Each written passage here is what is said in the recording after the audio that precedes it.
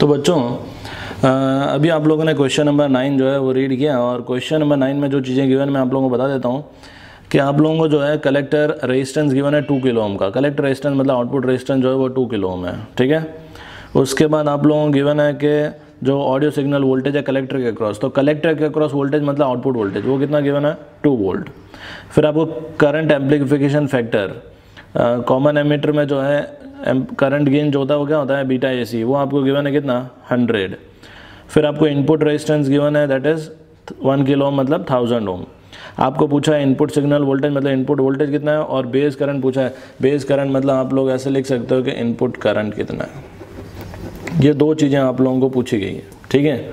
अब देखो, हमारे को पता है कि आउटपुट रेजिस्टेंस बीटा एसी और इनपुट रेजिस्टेंस इन तीनों को यूज़ करके एक फार्मूला है, जिसे हम लोग वोल्टेज गेन का फार्मूला कहते हैं, ठीक है?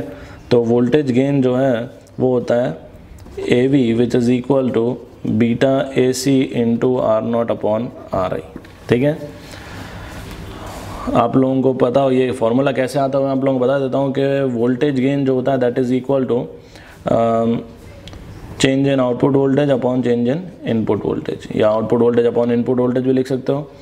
तो आउटपुट वोल्टेज जो है वो होगा आउटपुट करंट और यहाँ पे आउटपुट करंट क्या होता है? Collector current into output resistance और ये हो जाएगा input current that is base current into resistance तो ये जो delta I C upon delta I B है मतलब करंट गेन तो ये करंट गेन कितना है? Beta A C this is equal to beta A C into R naught upon R I तो यहाँ पे बीटा ए सी की वैल्यू रख दो this is equal to hundred output resistance कितना है?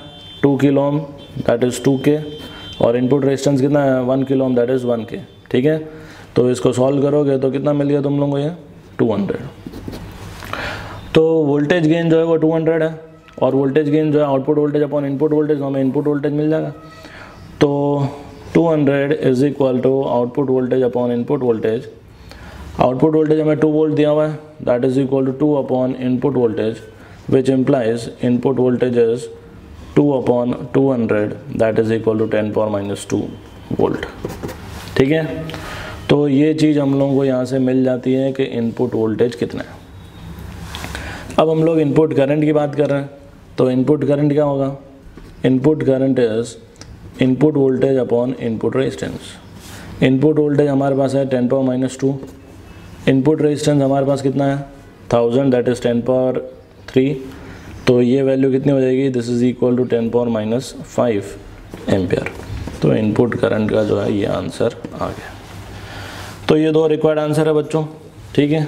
और मेरे ख्याल से आप लोगों को चीज़ें समझ में आई होगी। फिर भी कोई डाउट हो तो आप कमेंट में मेंशन कर देना।